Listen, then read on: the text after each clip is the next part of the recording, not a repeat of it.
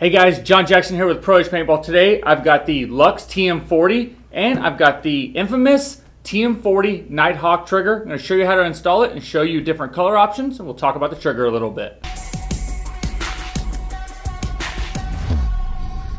So the Luxe has always come with a very similar trigger. It's kind of like this sleek, uh, I don't even know what it's called. Not a blade trigger, so it's not flat, but it's like a reverse curve trigger. And it's pretty nice. Infamous has really stepped up over the last couple of years in making different triggers.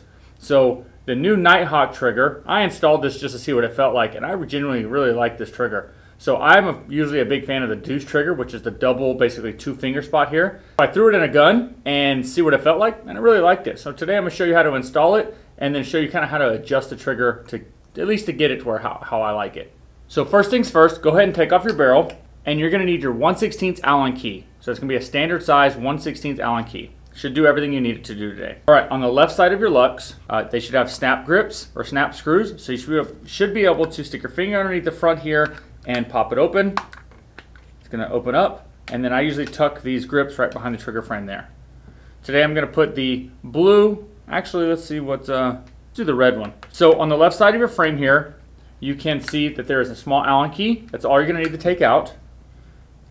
Take your Allen key in there, and it shouldn't be extremely tight. There are two O-rings on this screw. So once you get it out to a certain point, it'll actually stop unscrewing, but it'll stay stuck in there. So I usually take my fingernail and kind of pinch it between my two fingers, something like that. It's got two O-rings on there to keep it from just randomly unscrewing uh, as you're playing with it. So go ahead and lay that off to the side. So you're going to take the trigger and it's going to try to slide just forwards, what you want to do. So I'm going to take the front of the trigger, I'm going to kind of point the top of it down a little bit and hope it slides forward forward and out. There you go. It is a pretty snug fit, so if you kind of get it bound up in there, just be careful with it. You don't want to damage anything. Just kind of work it back back and forth. All right, so we're going to take our red infamous Nighthawk trigger here, and same thing. I'm going to take it, and I'm just going to try to slide it up and back at the same time here.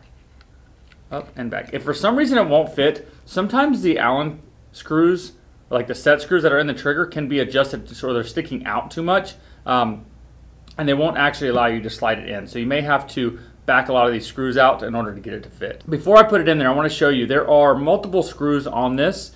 So the very front screw here is going to be for your, I believe your magnet. Yep, so there's a magnet inside your frame here. So that's basically like a uh, resistance for, or like the return for your trigger. So that's going to attract that screw and try to get it to pull up. So that's going to be your return, your trigger return force. So if you don't like it to be real snappy, you can reduce that by screwing that screw further away from the magnet. Your second one in here is going to be right here. That second screw is going to control, I guess, the forward rake of your trigger. So as I screw this screw up, it's going to press against the gun and start tilting that trigger more around this way. So it's going to make that trigger pull less rake to the front. You have another one here in the back. This is going to be your back stop. What that means is if you don't like a lot of room after you pull the trigger, let's say when it clicks and you shoots, if you don't like a lot of slop after that, this third screw here is going to be the one that you're going to want to adjust. So this is going to hit the back. So as you pull the trigger, it's going to do this way. It's going to hit the actual gun itself. The frame on the inside is going to stop the trigger. So once it clicks and fires, you can get it where it's a really short stop afterwards or where you have a lot of room afterwards. And then the bottom screw here, here at the bottom, is going to actually hit your micro switch inside. So it's going to be right inside of here. See if I can show you. Inside the frame here, you have a micro switch on the board. And so that screw goes into here and it clicks the micro switch right there. So that's going to fire it. So those are your four. So your front, so you have one, two, three, four. I would recommend just from stock, put it in there and let's see where we're going right out of the box. So again, we're going to take the trigger, slide it right into here. If you put it in an angle, it won't fit. You put it in too much bottom, so you're going to have to try to do it straight, uh, I guess parallel with the gun. Good to go there. Don't forget, I'm going to show you a few settings, how to adjust it here in a second. So once you get it in there, drop your pin into place, and then you just want to snug up this screw. You don't want to go too crazy. There are some O-rings on there, like I was saying, that will give it a little resistance, which is perfectly okay. And then I'm just going to do it until my Allen key stops. Pull the trigger, and you're good to go. Okay, so that's the basic.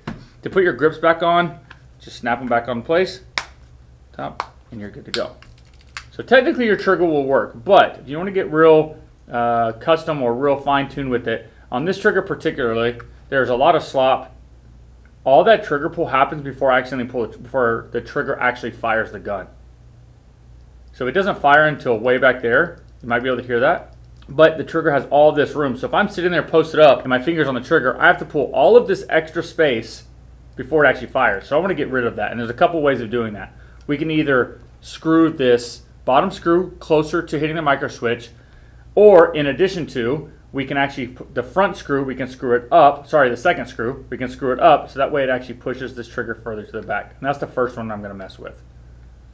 Take the second screw there and screw it down. And you should be able to slowly see the trigger go from there more backwards there. Technically, the front screw will do the same thing, but that's not what its main purpose is. Its main purpose is to increase or decrease the tension of the trigger. So I'm going to screw this clockwise, so to the right as I'm doing it. That's going to screw the screw forward, the top towards the top of the body.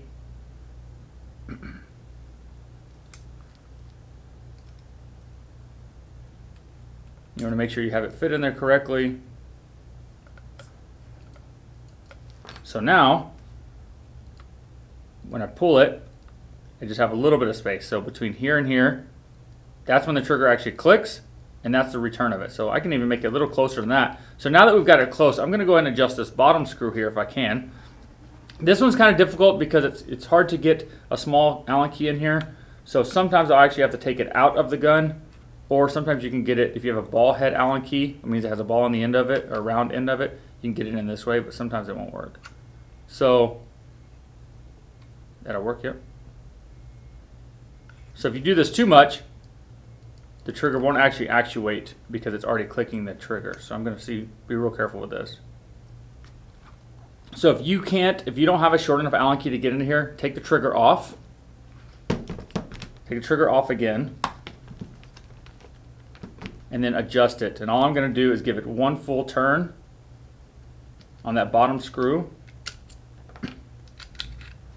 So you can see right here, the bottom screw is flush. I'm going to take it and give it one full turn. So Allen key is, is there. We get one full turn around. There we go. Let's do it a couple times, see what we've got here.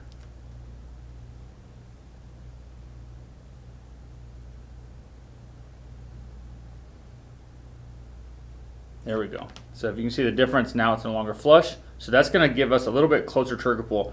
So if you overdo this a little bit, uh, you'll do it too much, but you can fine tune using the second Allen key. So now, I don't know if you can see that, but the second one is actually sticking out just a little, and that one's sticking out quite a bit.